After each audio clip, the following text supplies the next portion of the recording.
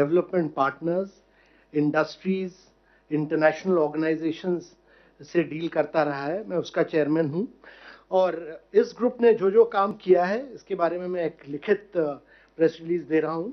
पर मैं ये बताना चाहूँगा कि इम्पार्ट ग्रुप छः का जो सबसे महत्वपूर्ण काम रहा है कि इन्होंने, इसने जो हमारे एनजीओ दर्पण में बयानबे हज़ार सिविल सोसाइटी ऑर्गेनाइजेशन और एनजीओ रजिस्टर्ड थे वो पहली बार भारत में इन सबको मोबिलाइज किया।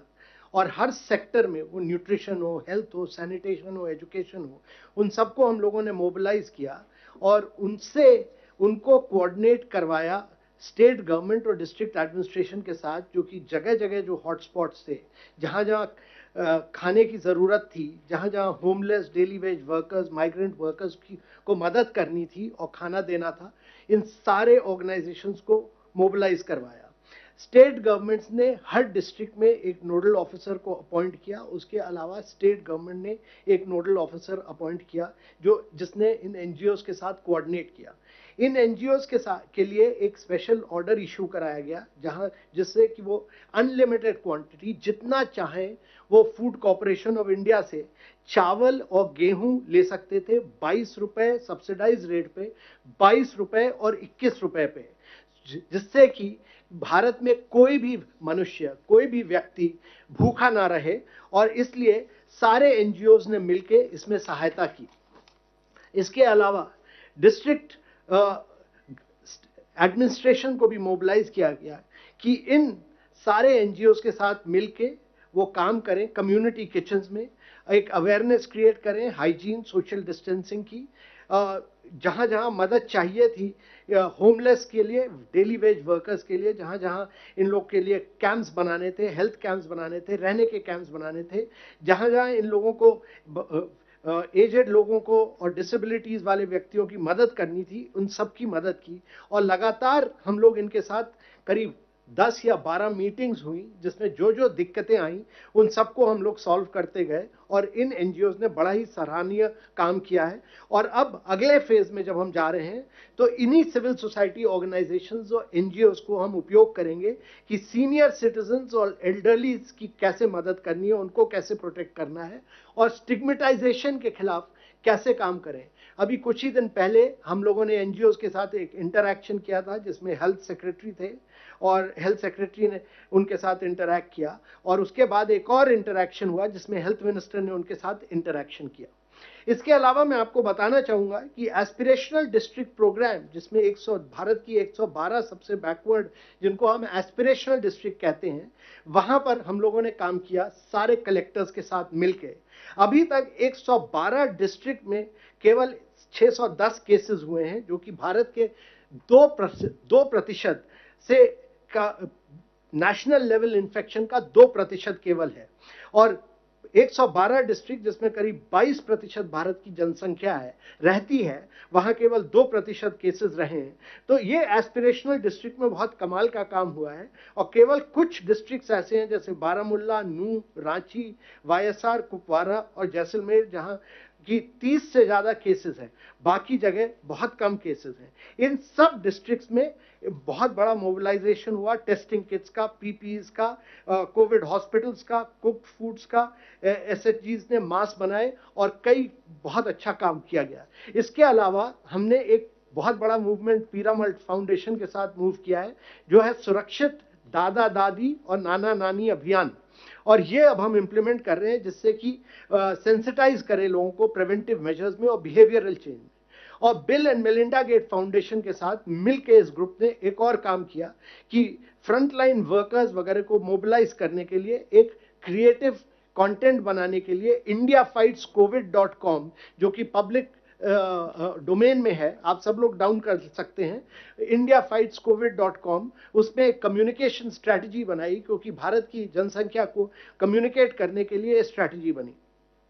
इसके अलावा मैं बताना चाहूँगा कि हम लोगों ने इंटरनेशनल ऑर्गेनाइजेशंस को भी मोबिलाइज किया, जिसमें W H O UNICEF U N F P A U N D P I L O U N women U N habitat F A O world bank Asian development bank थे। इन लोगों ने काम किया skill building में, जिसमें पंद्रह हज़ार तीन सौ ट्रेनर्स को ट्रेनिंग दी सर्वेलेंस हेल्थ ऑफिसर्स को बहुत ट्रेनिंग दी गई, और इन लोगों ने प्रोक्योरमेंट में काम किया, दो लाख पीपीपीज दिए, और चार lakh N ninety five mask भी इन्होंने डब्ल्यू एच ओ यूनिसेफ ने मोबिलाइज किए। यूएनडीपी के थ्रू हमने फर्दर ऑर्डर किया है भी दस हज़ार वेंटिलेटर्स और दस मिलियन पीपीई किट्स जो यूनिसेफ भारत सरकार को देगा। इसके अलावा मैं बताना चाहूँगा कि रेड क्रॉस सोसाइटी को हर डिस्ट्रिक्ट में मोबिलाइज किया गया और रेड क्रॉस सोसाइटी ने अपने चालीस हज़ार वॉलेंटियर्स को डिस्ट्रिक्ट एडमिनिस्ट्रेशन करीब पाँच सौ डिस्ट्रिक्ट में उन्होंने मिलकर डिस्ट्रिक्ट एडमिनिस्ट्रेशन के साथ काम किया और उन्होंने जगह जगह पर जा जाके quarantine isolation facilities donation of ventilators mask PP test kits में बहुत बड़ा काम किया।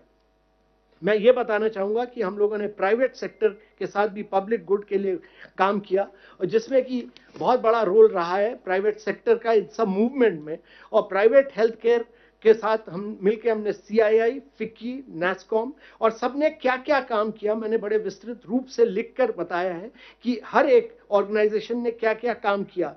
किसने आ, काम हाइजीन के क्षेत्र में किया? किसने खाने के काम में किया? किसने रिसर्च फंडिंग में काम किया? सारा मैंने लिखकर दिया इसलिए मैं दोबारा दोहराना नहीं चाहूँगा। पर मैं एक चीज़ ज़रूर बताना चाहूँगा कि नेस्कॉम के साथ मिलकर हमने स्टार्टअप्स और टेक्नोलॉजी ड्रिवन इनोवेशन में बहुत बड़ा काम किया।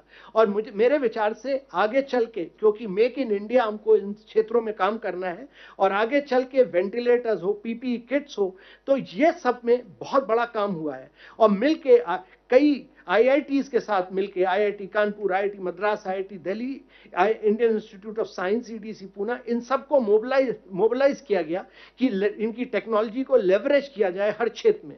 और कई वेंटिलेटर्स सोल्यूशन निकाले गए। जैसे एगवा जिसने कॉस्ट इफ़ेक्टिव वेंटिलेटर बनाया, जिसके साथ अब मारुति मिलकर काम कर रहा है। बायो डिज़ाइन जिसने कि एक रोबोटिक प्रोडक्ट रेस्पिड एयर एयर एड निकाला। कायनियत जिसके बारे में मैंने यहाँ बहुत कुछ लिखा है।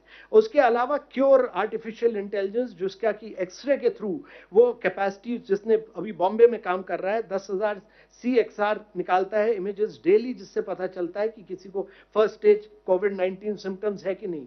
इसी तरह ड्रोना मैप्स एम फाइन और कई स्टार्टअप्स ने काम किया है इन कई क्षेत्रों में।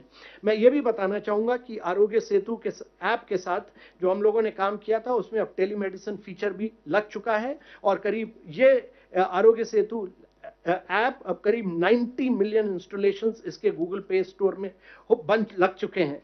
और ये अभी शॉर्टली इसका फीचर फ़ोन ऐप भी निकलेगा। और इसके साथ साथ ये आरोग्य सेतु मित्र जो कि जिसमें कि सारे टेलीमेडिसिन फीचर्स हैं, वो भी हैं।